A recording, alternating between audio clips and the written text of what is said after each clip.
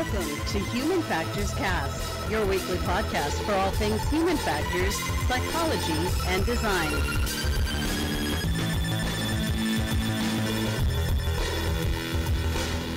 I guess it's a good thing that this is the real one because I, I- feel a little bit more composed than the last two false starts that we had. Yeah, no more giggle fits. no more. Oh my god, yeah, that was fun. Uh, hi everybody, You're, this is episode 125. I don't even know what I'm doing. I'm saying this for the third time. April 8th, 2019, and you're listening to or maybe even watching Human Factors Cast. I'm your host Nick Roome, joined today by Mr. Blake Arnsdorff. Good to be here, Nick. There he is with his beautiful haircut. What is it? Oh, It's- it's thank like- you. You're just wearing your hair down. Everybody, yeah, everybody keeps like, I like your haircut. I just didn't put anything in my hair because I was really in a rush this morning, It- and everybody thinks I'm a new person, so it's kind of nice. I, it's super cute. All right. Uh, you know what? you, hang on. If you're if you're listening to this and want to see Blake's haircut, y- y- You here's should what watch you it should on. YouTube. Go to YouTube. Hit that subscribe button if you like Blake's haircut. Yeah, leave All us right. a comment if you do or don't like it. Either way, hit the subscribe button. hit, the, hit that subscribe button. We're, we're close, guys. We're close. 15 more. Uh, hey, guys, today we have a lot to talk about. Uh, we are going to be talking about these stickers that uh, can cause Tesla autopilot to swerve into the long, wrong lane. Uh, RealWear announces that uh, Shell, the company, uh, has selected some hands free computers for field workers. The U.S. Army shows how to use HoloLens in the field, and Amazon's first HIPAA compliant Alexa skills to track your healthcare. yes. Uh, but first, we got some programming notes. You can find us on YouTube, like I just said. Everyone, go like, subscribe, make Jeff really happy, and uh, you know, go go comment about Blake's hair because it's really cute. Oh, All right, goodness. Uh, hey, uh, Blake, we're not going to be back in the studio next Monday because I'm going to be out for Star Wars Celebration. It's a uh, it's a Star Wars nerd thing where the the stream will go until Monday, so I will not be down here in San Diego. I'll be at home watching this, and uh, uh, sorry, everyone, you'll have to wait till Tuesday. But I got I got a special surprise for everyone who's listening What do you got, Nick? next Tuesday, you're going to want to go check out the HFES website because they're going to have a webinar on exoskeletons. Now, this is including uh, a couple folks, including Chris Reed, who we actually had the pleasure of interviewing uh, back at HFES this last uh, conference. Uh, and it's uh, it's going to be great. It's going to be a little talk about uh, exoskeletons and and uh, what to expect from ErgoX this year. And um, you know, it's just a great place to ask all your questions. If you have questions, I strongly encourage you to email some to show at humanfactorscast.com. Is that a new? Hey, email? is. Yeah, it is. Woo! Uh, yeah, So we and, official. and because we're in the programming notes, I did uh, we d- we did uh, give the website a little facelift. If you uh, have been around recently, so now it looks like it's not from 1995, but it looks like it's from 2005. Yeah, got a dark know, mode we- going and everything. We got a whole decade. Um, yeah, we added, we added some bios about ourselves, including a, a, a news RSS feed, so that way you can stay up to date with all the news stories that we're posting in our Slack. Um, it's a gr- it's a great place uh, to to find more information about the show. Uh, so yeah, go check out the new website. Go check us out on YouTube, and check out that ErgoX webinar next week. Uh, but first, I got to know what's going on in Blake's world. Oh man. So you and I have kind of gone back and forth on the podcast before about like tracking our health and fitness. Oh yeah, we have. and using different odds and ends for different types of devices. You recently just upgraded to like a Samsung watch, right? I did, yeah. So I, I upgraded to the uh, Samsung Galaxy Watch Active. Wow. That's a that's a mouthful. That's a mouthful of words. yeah, it is. Uh, but anyway, so I I really kind of have taken for granted the amount that I relied on my Fitbit to kind of drive me to at least get the two, 10,000 steps a day. You're not wearing one. I know, because somebody who I know and love has taken my charger and hidden it from me Why? Uh, because she accidentally took it on a trip with her. What kind of charger do you need? And no, it's just like the specific Fitbit one. We have two different sized ones, and she grabbed the smaller one, which was for mine versus oh, hers. bummer. But it's funny because I've been like checking my phone or whatever, thinking I was gonna like check how I slept last night, and like Sure. I've been sleeping over the past week, and it's been weird that I definitely have been a little bit more sedentary than normal, even though I kind of do some of my normal workouts. You don't have any of those like passive reminders to get up and move. Which I, I kind of thought were like, oh, those are cool reminders, but I don't really depend on them. But it, it's apparent Apparently that you do. some of it does, yeah. So I don't know. It's been weird without that. Then it was kind of a funny thing to retrospectively think about. That's kind of a cool, uh, yeah, like a like a analysis of what you- Fitbit actually does for you. It's a case study. Yeah, it's actually modifying my behavior, Yeah, much to my chagrin. that's funny. Yeah, what's, that's interesting. what's been up with you, Nicholas? Uh, well, I have a couple things I could talk about. Uh, I so you know what you just brought up Fitbit, so I'll talk about my Galaxy Watch. So um, the reason I got this thing and finally jumped ship from Fitbit was because this was the watch that was supposed to bring um, uh, blood pressure monitoring to uh, a watch. And of course, you can only get this through like a third party research app. And you can only get it if you can take your blood pressure with the Samsung 10 fleet of phones. And I have the 8 fleet of phones. Oh no. So I can't even get the app because um, I, it won't let me on my phone. And so now I can't get it on my watch, which means I just kind of switched over for no reason. Although That's frustrating. I will say this is a little bit more lenient than Fitbit in the tra- in the fact that like I can track my water from my wrist, and I didn't realize how much of a big deal that was to me. Like I am tracking my water intake every day. I can quick add calories, so if I like eat a prepackaged protein bar or something, I can just go oh 180 uh, and throw it in, and it links into MyFitnessPal. Uh, and I've been tracking it across two different services because one is like weirdly time.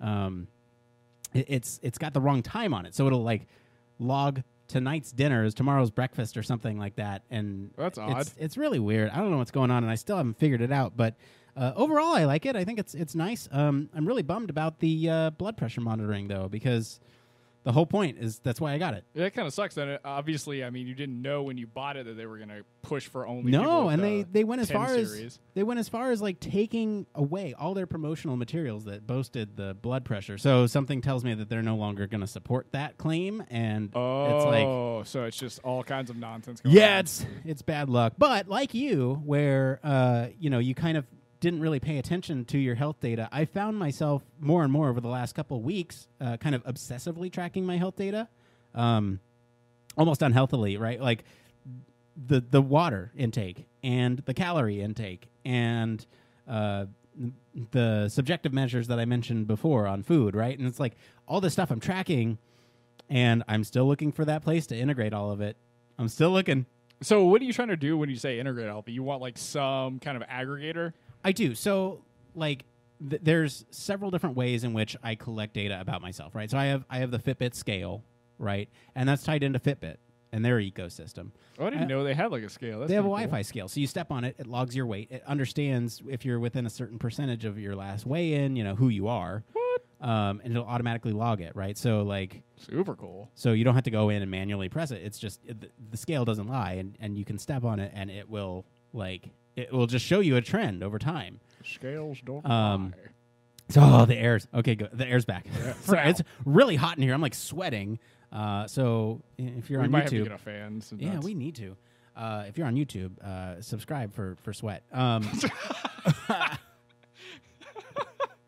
anyway, um, yeah. So so uh, again, like I'm I'm getting my weight from Fitbit. I'm getting now my activity tracking and my calorie tracking from like uh, Samsung and MyFitnessPal, and then I get like I have a Nokia uh, temperature thermometer uh, that you like just aim at your head, and so like it tracks your your uh, body temperature as well. And What? I use that far and few between, right? Like when I'm Sure. sick, but I want some central repository for all that stuff uh, as kind of like a dossier for me, so that way next time I go to the doctor, well, when was the last time you weren't feeling ill? And I can go, oh, well, here's my temperature, Yeah. uh, and you know, here's my um, here's my activity around that time. You know, I was very sedentary around that time. I was only taking a couple thousand steps a day because I was sick, um, and you know, kind of having that one place for everything. Yeah, dude. That sounds awesome. And I mean, especially if you were able to actually bring that to your doctor, which I mean, that can go one of two ways, right? You could have like a, if it depends on your general practitioner or who you take it to, they could be really accepting and Right. really stoked about it, or they can just kind of be like, ah, I feel like you're trying to tell me what I what I already know. Yeah, and I, I, I mean, the the biggest thing for me is that like it paints a picture over time rather than just the snapshot when you go to the doctor, right? And it's kind of the stuff that Elise was talking about from the healthcare symposium. You want to look at data over time rather than just uh, in in the moment, right? Yeah, it's like, it's one of the reasons where I've thought about wearing like a device like a continuous blood glucose monitor just Yeah. to know over time like what what different foods are really affecting me and how do they affect my body and all that kind of stuff. Yeah, I've been pricking myself too, and that's handled in a different app. And then like I just want it all in one place, so that way I can see kind of how timeline it all lines up. You know, I don't know. Uh, so that's me getting getting all nerdy about that stuff. But next week, next week's banter is going to be all about Star Yeah, Wars, man. All, you thought th- this Woo! week's was nerdy. Wait till next week. Woo! All right. well, uh, you got anything else before we get into this next part of the show? What's the next part of the show? That's Human Factors News. This is the part of the show all about Human Factors News. This is where we talk about everything related to the field of human factors. It's going to be anything from uh, we got some automation in there. We got some We do. VR, AR, uh, you know, all that stuff. As long as it relates to the field of human factors, it is fair game for us to talk about. I I never really liked this part of the song. It kind of sounds like, you know, 90s. It feels like it's part of Super Smash Brothers. Oh, I can hear that. Yeah, no, it kind of feels like uh to me it kind of reminds me of like that 90s glamour like uh catwalk Yeah, it's very uh, Robin Sparkles. and then it, it comes back into this like groovy thing. Anyway, we're talking about the music. Hey, uh here we go. All right. So Blake, what do we got up first this week? All right, up first. So last week, researchers from Tencent's Keen Security Lab showed how the tr- how to trick the lane detection system in a Tesla Model S to both hide lane markings that would be visible to the, to a human and create markings that a human would ignore, which, under some specific circumstances, can cause Tesla's autopilot to swerve into the wrong lane without warning. The security researchers identified a few other things with Tesla with the Tesla that aren't really vulnerabilities, but they're kind of inter- interesting nonetheless, like the ability to trigger the rain sensor with just using an image. So they were able to control the Tesla with a gamepad using vulner- vulnerability that Tesla says it's already been patched. But Tesla appears to be saying that this is not a real world concern only because the driver can take over the car at any time. So, in other words, it's absolutely a real world concern, and drivers should be prepared to take over at any time because of it. So, while the potential for this to become a real actual problem for Tesla's autopilot is very small, the demonstration does leave us with a few open questions. Like, what happens if there are some random white spots in the road that actually fall into a similar pattern, like these stickers that were used? And what other kinds of brittleness have not yet been identified? Tesla has a lot of miles of real world testing, but the real world is very big and long tail of, of the ver- and the long tail of very unlikely situations is always out there waiting to be stepped on. So Nick, this is pretty nuts that somebody was able. Well, one that there's actually companies out there, I guess, doing stress tests on you know Tesla Model S's or Tesla cars in general, but they were able to trick it and control it with a gamepad. Sorry, I'm like nerding out about the gamepad, but the sticker. Okay, hang on. Let's go talk about the sticker real quick because Sure. this sticker is fairly innocuous. Like, I when I when I first read this article, I was like, "What does this sticker look like? That like, how big does it have to be to make this thing actually perceive like the lane is going into another the of the oncoming traffic, right?" And if you're looking at the video online, it is very tiny. It's a very tiny sticker. It's just a little dot on the road that would indicate another piece of information for the Tesla to interpret as uh, part of the lane. So they take a look. The Tesla takes a look at this dot, and it thinks, "Oh, I got to go to the left of this dot," and then suddenly you're in oncoming traffic. It, it thinks it's part of the curvature of the road. Um, you know, and I'm, I'm sure something like this will get patched, but uh, you know, it, it's just it kind of to me kind of outlines sort of the um, how still we're still in the infancy of like automa- uh, automated vehicles and and uh, you know sort of machine learning about environments. Absolutely. I mean, I think so. I don't know the the way this is phrased in the title makes it sound like a really really bad thing. But it, in the end of the day, I mean, it talks a little bit about the fact that Tesla does have a lot of hours being re- like quote unquote real world road tested. But at the same time, I mean, it's people that are looking for extra variables that maybe a tester at Tesla wasn't thinking of, or the, there's even third party security companies that are testing these kind of problems out with autopilot mode uh, that could potentially, you know, save somebody's lives or be able to uh, inform like the next iteration of whatever patches that Tesla needs to make. So I think ultimately it's a good thing to find. Um, but it, it is kind of odd that it's something so small and minuscule that's actually making some of these changes in how the autopilot runs. Yeah. Um, yes. Uh, th- let's talk about some of the other hacks that they were able to pull off. So they also said uh, controlling by gamepad. Uh, they also Which said, I would rather just drive the car by gamepad. uh, would you though? Because I mean, like, if if you're looking at the video again, sorry for audio listeners, we'll try to describe it as they're so they're they're driving with the D-pad, and uh, every time they hit the D-pad, it kind of does this like jerking motion, but they're able to control it, which is kind of cool. Like if you can, can if you can adjust the control curve so that way you know as as you veer left or right, you're only slightly increasing or slightly uh, panning the steering wheel left or right versus you know a hard left, a hard right. Yeah. You have to get that control curve down uh, in order to drive, right? And I think there's a lot of video games out there that you could steal a control curve from, and it'd Yeah. be fine. Yeah. Um, but they also uh, let's see here. What were some of the other things? Oh, triggering the rain sensor with an image. Um, uh, let's see, controlling with a gamepad. Yeah, so the rain sensor with an image that's interesting as well, um, because if the car is like, let's say they are are being the the autopilot would be more cautious if it was raining, right? And, and it would try to sort of understand visual cues in a different way because it's through a filter. If that's just a sticker, then you are uh, potentially overcorrecting for an environment that's not um, true to the real world, and uh, that overcorrection could endanger other lives on the road. Most definitely. I I think one part that is a little bit concerning is kind of Tesla's response. Now I don't know where this came from or if it's just kind of a PR style response, but I mean them saying that ultimately a driver can take control. Well, in some in some ways like autopilot is making that very very difficult and I don't even know that the intention should always be that you're some driver is going to be able to hop back into the loop and be able to take control whether especially if it's one of these sensors that's going wrong where it's not necessarily an anomaly the of like other drivers. It's just something the sensor is picking up wrong and making the wrong decision for.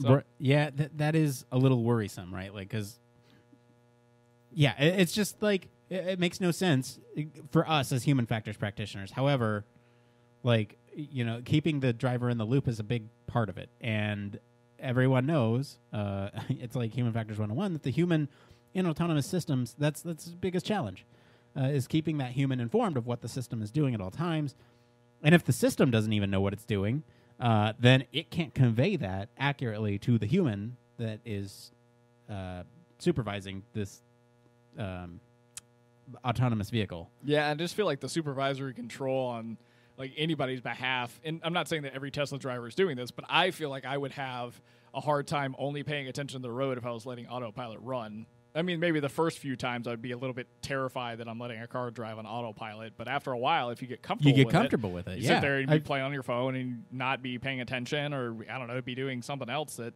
just takes your mind off the road anyway. I've seen videos of people going, "Okay, I'm going to fall asleep on the road with Tesla's autopilot," and they like put their hand on the steering wheel and they go, and they go to sleep, Oh, that's so wild. and it's like, yeah. So but then you hear about a story about three little stickers that can make the whole whole thing whole go off. operation crumble. Yeah, for sure. All right, well, why don't we get into the next story here? Pretty crazy. All right, real world or no, Real where? RealWear, the industrial hands-free knowledge transfer platform for frontline workers today announced that Shell has selected RealWear's hands-free head-mounted RealWear. Can you say RealWear one more time? RealWear. HMTZ one one Z one platform to support in digital transformation of its operations.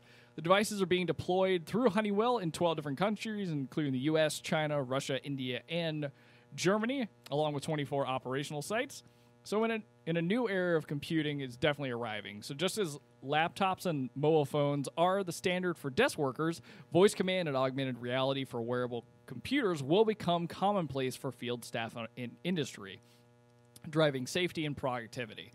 So, the RealWear helmet display is an intrinsically safe voice controlled device with a micro display that shows an image to a user if they are viewing if they're using the 7 inch viewing screen. So the head mounted computer is the world's first com- commercially available device that permits field workers in highly restricted zones to use wearable, a wearable device where potentially explosive gases are present, helping to reduce health and safety work hazards. So this is kind of nuts, but it also follows a trend that I feel like I've seen come up a bunch of like the integration of voice technology either in the workplace or just in general to increase productivity and in this case maybe even increase safety. Yeah. So the first question I had was, what is the HMT one? Uh, and you know, because like you you hear sort of wearable computer, and you know, what does that entail? Like, what kind of what kind of uh, options are are, are you looking at? Like a Google uh, uh, lens? Yeah, Like- kind of like Google Glass Google or a Glass, yeah. Or a HoloLens? Like, what kind of thing is this? And looking at this design, it looks like it's very much designed for these types of workers where you don't need a hard hat, right? There's like the the biggest thing to me is that there's absence of kind of the dome structure that you see in a lot of these other things, right? Google Glass less so, but the HoloLens for sure has a lot of things in front, uh, occluding your view, Um, but this one just has a single strap that goes over your head, and y- honestly, you kind of look like I'm going to bring it back to Star Wars a lot today because Star Wars Celebrate. I was so excited, like, but this kind of looks So like ready. something Lobot would wear from. Empire Strikes Back. Um, so uh, uh, th- this is not the first time we brought Lobot up on the show No, of course. Not because it's Jeff not. used it as a as a thumbnail one time. Jeff used it as a thumbnail in this one. Uh, Oh man, show production while we're doing but the show. but I mean, so this is this is cool because it has sort of this flippable mic that comes forward, so you can do speech control. It has this camera, so the system is understanding what's around you, and it sounds like there's this little screen, uh, kind of down by the mic where you can glance down and kind of get a get a picture of it. Although uh, that picture is really small, and so I'm wondering like what kind of thing uh, you're looking at there. Well, I think in the graphic that you were looking at, it actually looks like it projects the screen a little bit. It does look like that, but I'm not sh- so sure. Yeah, that could just be you know some sleek graphics they put together, but I'm not really sure because it does say that it's a small like seven inch display. But if it wasn't, you know, kind of augmenting it on your own reality, if you will, I don't know how much utility they'd get out of it. Um, but I think it's awesome to see that obviously they this company has learned a lot from the application of HoloLens and then the release of Google Glass, and so they've gone and realized that okay, there there is a market for this kind of technology, but I think it is really starting in industrial settings. Yeah. Um, which is uh, so. So the big point of this ar- ar- article, argument, article. big point of this thing is that uh, you know we, we're seeing more and more companies here sort of commit to this technology out there, and um, you know there it's it's starting to be these wearable computers are starting to be more and more commonplace among these workers. Whereas, like you know, a computer is something that you and I would use at work. These are becoming more and more commonplace for everybody else, and it's just making everybody's lives that much easier. Yeah, it sounds like the voice control and like different types of virtual assistants are just going to become more and more commonplace in any kind of work setting. Yeah. Uh, do you have any other closing thoughts on this one? I do not. Yeah, it's kind of kind of straightforward.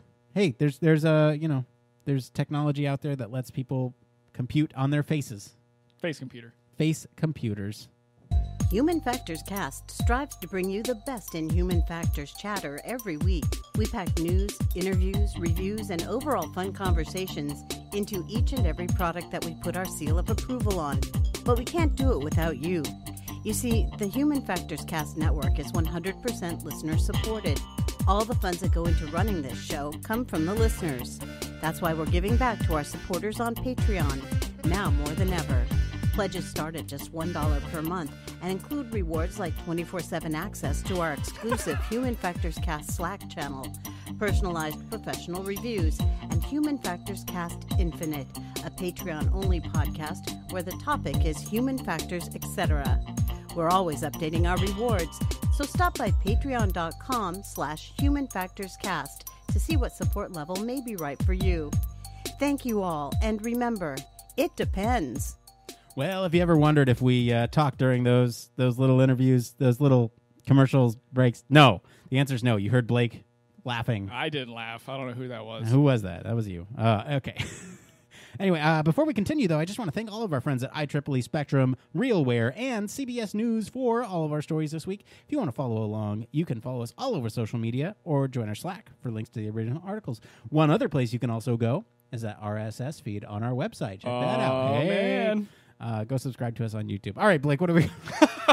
Just slip that in just, there uh, every yeah, chance just he slipping gets. that in there. Okay, okay. Uh, All What do we right. got next? So what we got up next? When Microsoft employees balked at the company's 479 million Hololens contract with the U.S. Army, it raised a question: just what would this system actually look like? What would this system actually look like? uh, a Hololens that would look like Call of Duty, I guess. So, but you now have a now we have a better idea. So the army has given CNBC an early demo of its integrated visual augmented system, which is a modified Hololens 2 to provide both combat assistance and training. So it reportedly feels like a real life call, game of Call of Duty, and you can see the squads. You can see your squad's position on the map. You have a compass, and you even have your own weapons reticle. So thermal imaging would help you see in the dark without as much of much of the telltale glow as the existing kind of night vision headsets. And in training, the IVAS can also provide data to improve performance, such as the wearer's gaze and heart rate. So instructors could coach soldiers on their aim or to, or room cleaning techniques, for instance. So the demo was clearly meant to sell people on the concept of an of this kind of and allay any kind of concerns of those who are kind of twisting the peaceful technology into a destructive tool. However, this doesn't really change some of the core objections from Microsoft staffs and or other critics. So it's kind of an interesting take for I guess the army to go ahead and just grab a HoloLens 2 and modify it to what they wanted to do.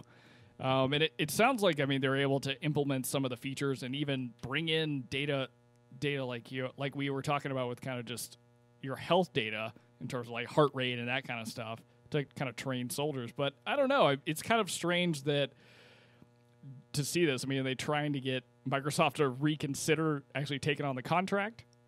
I don't Who know. knows? I, I I don't know. I don't know. Uh, that's we're we're skirting around this topic again, and I don't know.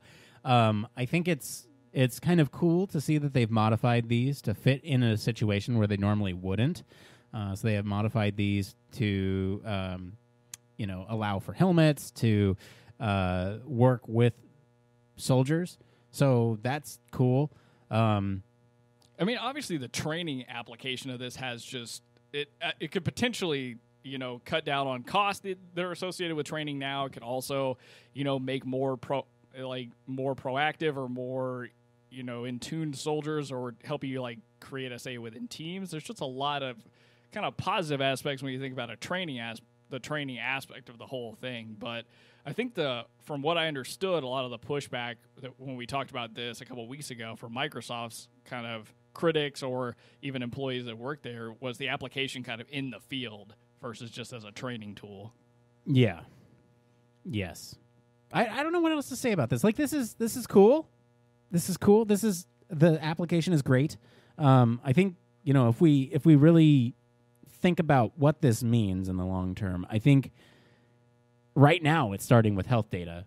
Right now it's starting with these other things and and maybe training soon. But how long? uh, Like night vision is already starting to get there, right? They they touted um, using uh, thermal in- imaging as as an application of this. Yeah, it's way better than what exists now. So it's it's like are they just gonna buy a bunch of Hololens twos and just modify them as needed? like Yeah. using a different contractor. I don't know. It, that it's kind of a tough situation for Microsoft to be in because you got your it's a lot of money on the table, but you have half of your employees are just not happy about it at all. Um, at the same time, w- you have to have the conversation with yourself, which we've had on the show multiple times. It seems, especially in the past couple of months, about Yep. like how close do you allow your company to get to the spear and what does that really mean um, in terms of your own company's values and all sorts of stuff.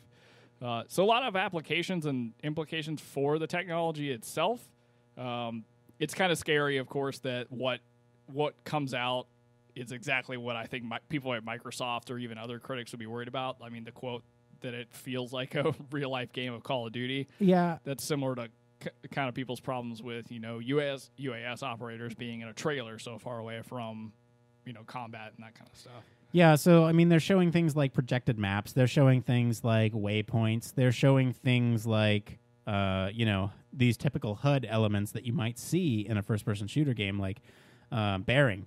Um, or uh, you know, and, and thinking about the application of this, right? Like if somebody tags an adversary on the battlefield, like that location could be shared across multiple devices and they could track it through multiple devices and like that Or multiple people that, are in the exactly. field. that's yeah well multiple devices hooked up to people. Yeah. So i mean um yeah it's uh it, it- to me it's like a slippery slope um but i don't know. Uh, like they're still so they're still too big for for helmets but they're like getting there i guess according to the cnbc article. Um they they explained that they picked microsoft um because uh, it's abnormal that a vendor has direct input from soldiers for like two weeks. So I don't know. There's that too. But then you have this whole Microsoft employee thing, and it's like, where where's that going to go? I, I don't know, man. This this whole thing kind of bums me out because it's technology that I find really enjoyable, and it's a field that you know we're working in, and it's like, how close to the trigger do you get? Yeah, it, it this we had this conversation. I feel like often and- weekly. and, I it's a weekly thing now. Almost. yeah, and I I don't even know what to do, what to really think about it because I think it. Oh man, I don't know. I think it is a good application of what exists, but I can see people's pushback on it. If it's just not something they signed up to work on in general, okay, that's perfectly fine. But on the flip side of that, if it's it makes you know soldiers' lives more or makes their time in combat more safe, or they are better trained because they use something yeah. like something like this. It's hard for me to be like, oh, that's a bad idea. That's objectionable because other people will get hurt because of it.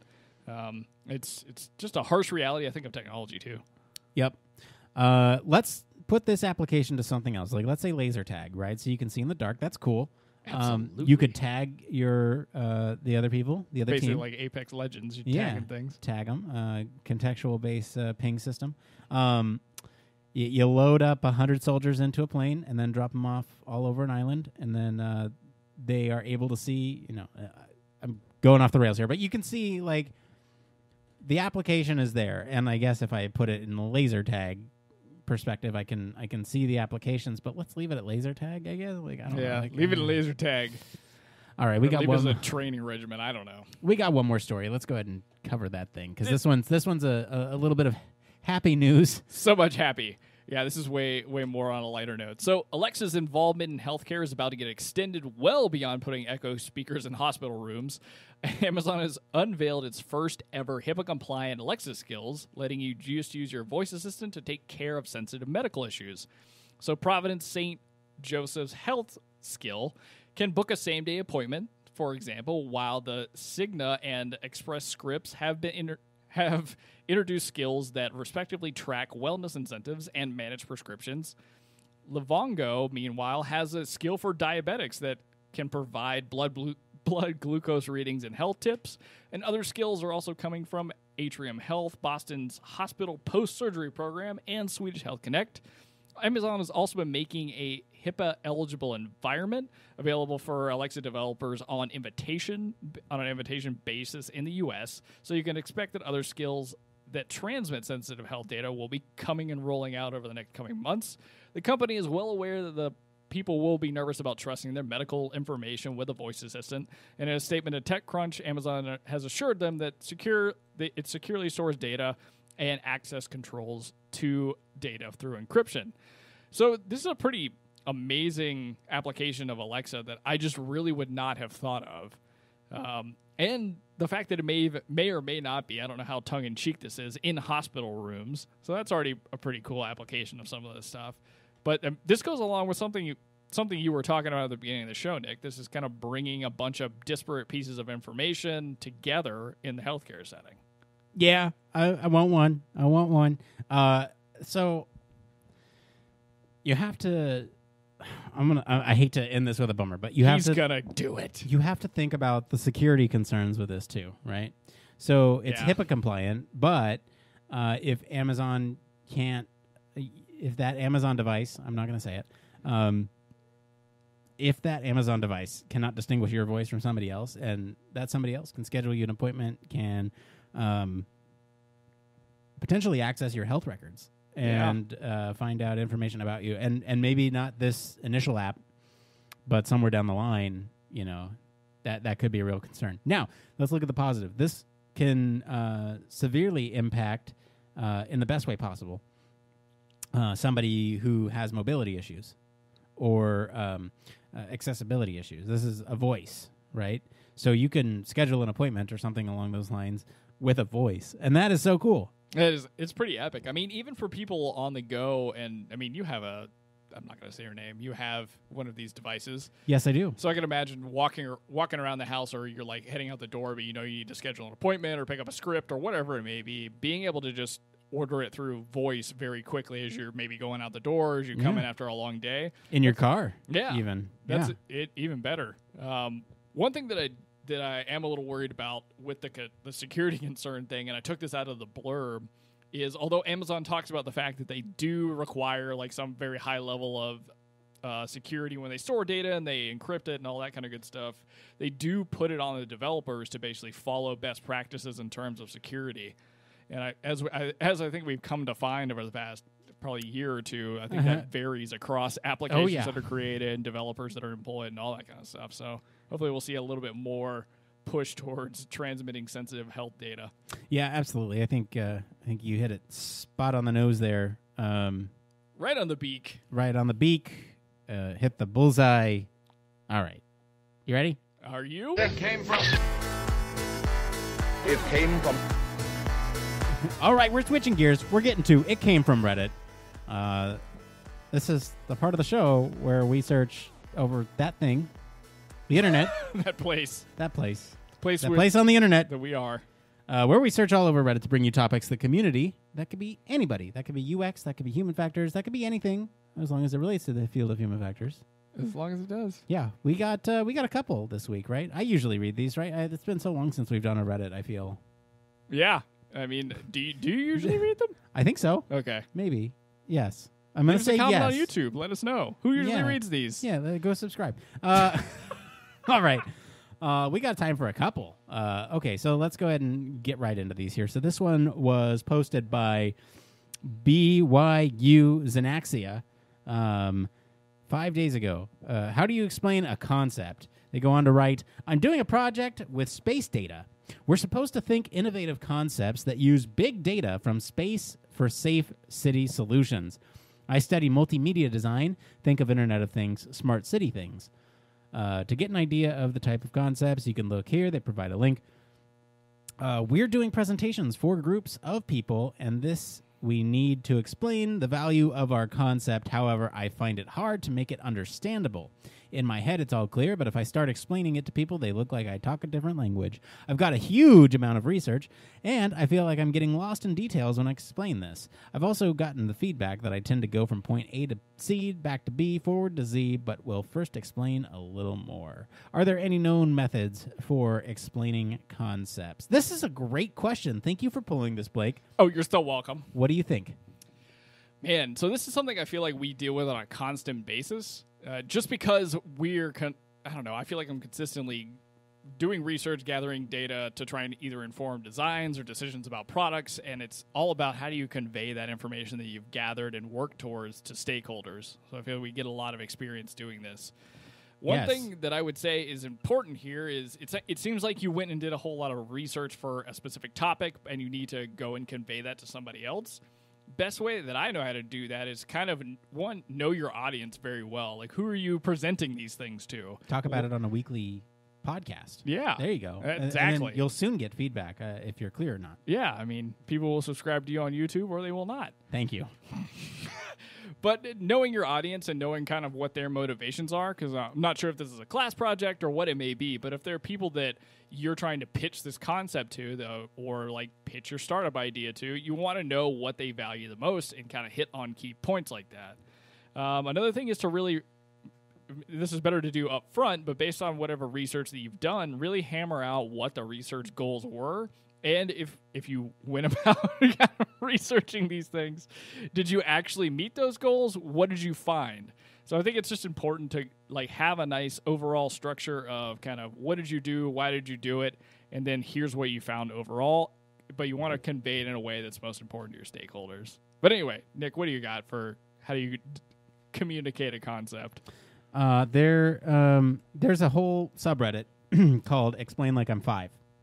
And it's it, it would it, it would be in your best interest if you tried to explain this concept to a five year old. Uh, one thing that could help is to try to write out your response ahead of time. If you get this asked so frequently that you are having difficulties explaining it every time, I think it would be sort of in your best interest to go and like kind of write this thing out and talk about it with somebody who is like a friend of yours that may not know every detail about what you're working on. And then you talk it through and say, hey, this is my thing. This is point A. This is point C. This is point B. And they'll go, oh, wait, wait, wait. I think you should say that before. And just ask somebody for honest feedback. Um, get somebody to kind of proofread it and, like, oh, you're getting too in the weeds there. You are getting um, way in the de- in the weeds there. Uh, just kind of keep it high level, right? And I think that exercise alone of going through it with somebody else who's naive to the topic uh, will help you sort of identify the types of things and in what order to present that information in. Uh, it goes back to school when you're like preparing for a a uh, presentation or something, and you just recite the same thing over and over again. You want to just drill it into your head until you you can recite it. Um, uh, from memory. And uh, I don't know. I feel like that's a that's a good exercise to do to kind of narrow it down. Definitely. The more confident you are in what you're about to say to somebody, I think the better you're able to think, or from my perspective, you're better to think on your feet a little bit quicker because you already know what you're talking about. You're pretty well versed in what you what you're going to say, so you can focus a little more on somebody asks a question. Okay, I can explain the concept, or I can think on my feet about how to answer whatever they may have asked. Right. Yeah. It's all about structure. So get that structure down about how to communicate, and I think I think you'll be okay. All right. We got uh, what two more here. Let's do uh, this one was by my God, it's full of stars. Uh, all the stars. all of the stars. They were uh, the the title is hired as a product design lead in a small startup. Boss wants to outsource visual design. Whoa, I can see where this one's going. Oops. Uh, I'm in a few days into my new position, one which I was led to believe revolved around the ownership of the entire UX process, from research to interaction design to visual design to prototyping and testing. My new boss is enamored with this designer's work, and as we discussed prior to me coming on, wants to use him for establishing the brand and identity of the company. Totally cool with that. Today, the day before meeting this person, he sits down to go. Uh, he sits me down to go over what he's thinking, and it includes the visual design for our core product. He sees this as logical because this person will craft the visual identity, and therefore they should extend that into the product. I thought I illustrated in many, many ways how I thought it'd be beneficial if the product design component was under my purview, but he seems apprehensive. Has anyone had a similar experience uh, that can maybe lend some advice? Thank you. I will say the edit in a little bit. Absolutely.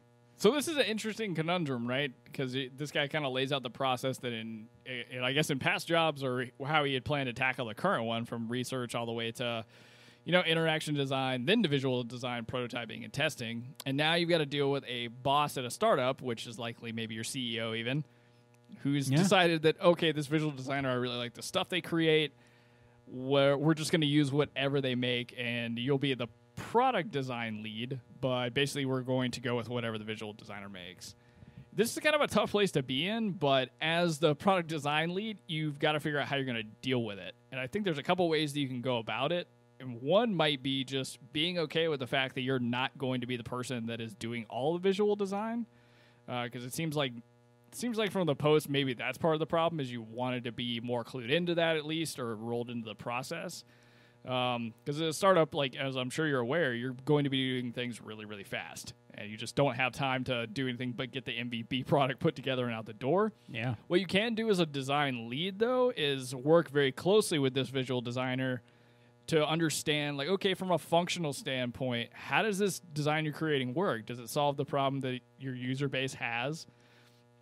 Do you even know that at this point, or is this all just visual designs they've created based off of just talking to the CEO? You can test these designs and try, and if you really feel strongly that some of the visual design needs to be changed, or different aspects of the interaction are just not quite correct based on what's been done, then you'll have ammo to actually make those changes. I'd say just ultimately keep running the like user centered design process that you intended to use, but just act like you're already further down in the process. Can I be honest? What this sounds like to me? Please do. This sounds like this person's getting like their ego bruised a little Yep, bit, That's exactly what it sounds like. uh, and maybe maybe th- maybe this is one of their first jobs, and they don't know what that's like. Um, learn to delegate. Learn to uh, you know sort of. y- You're not everything. You can't do everything. Uh, those are what we call unicorns, and why do we call them unicorns? Because they don't exist.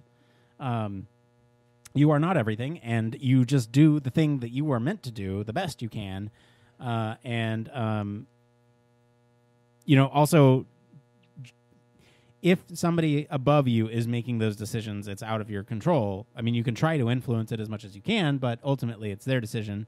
The buck stops with them. Uh, so just work with what you got. Like, it's a job, and I understand it can be frustrating when um, you are capable of doing something, but they're hiring somebody else to do that job. It's not that you can't do it. It's just that that's not what you were hired for, and that's not what your position entails right now. Uh, so don't get all don't get your bru- ego bruised. And I feel like really heartless when I say this. Like, Well, I don't think there's anything wrong with it because I think you're right. The tone of the way it's written really feels like that. And if I was to take a guess, this is this person's not their first job, but it's their first product design lead job. So mm. they're used to Yeah. doing kind of the full gamut of things, and now they've got to figure out how to live in this leadership role, which they may have before been the like sole UX designer, designer of any kind at a company. So they're used to just having control. And now you've got to figure out how to work with a team and basically manage a design that already exists. And it's, it's kind of a fun new challenge. I think it'll be if you kind of look at it a different way than like ah, there's this visual designer that it's not exactly how I want it to be. Well, see what you can do to either influence it or find out that it actually was well designed. So this is interesting. So the edit. So I didn't read the edit before we actually said anything. So edit. This has been extremely helpful. So thanks to all who responded. The thoughts seem to be pretty polarizing between do what's best for the company and do what's best for you, which I kind of expected. The perspective had, has definitely been helpful in affirming that I will need to put my ego aside There it is. and uh, use this as an opportunity to just focus on making the best possible product. Whatever happens, happens. Well, there you go. it. Like it a lot.